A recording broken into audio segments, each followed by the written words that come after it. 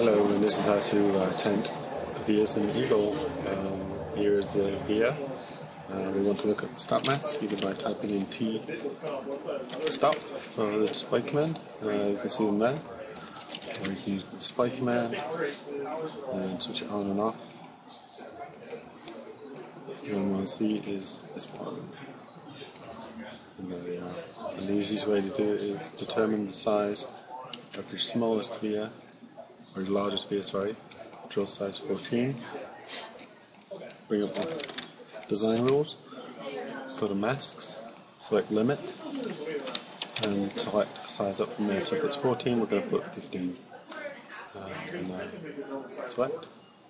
And you can see there's no stop mask on there anymore, which means that the solder mask will go over the top of that via, uh, not over the top of these ones over here.